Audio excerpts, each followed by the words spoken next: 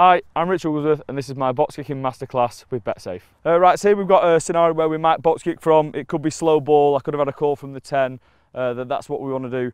Uh, to set up the box kick, first of all, you need a big heavy forward like I've got here uh, to give you a nice long ruck to get his foot back. In a game, I'd probably have two blockers uh, here and on the outside, bound nice and tight, and that's to stop them, uh, the charge down happening here. So we go to the kick, Baz, just get your foot back here, so back, ball at the back of the ruck.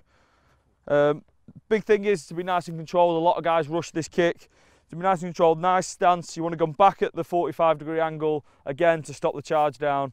Uh, when you've done all that, just having good tempo and good weight through the ball. So let's see if I can get it in this box here.